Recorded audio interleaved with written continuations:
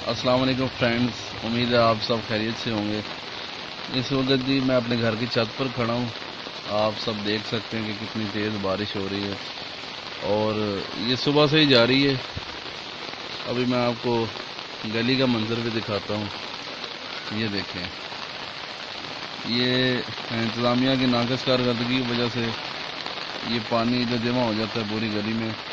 और तकरीबन पूरा शहर ही डूब चुका है बारिश की वजह से। और ये पानी जो है वो चार चार, पाँच पाँच छः छः घंटे तक खड़ा रहता है।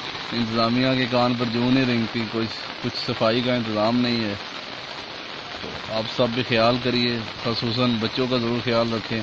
बाहर मत जाने दें, तार वगैरह को हाथ मत लगाने दें, क्योंकि ये ख़तरनाक साबित हो सकता है। Thank you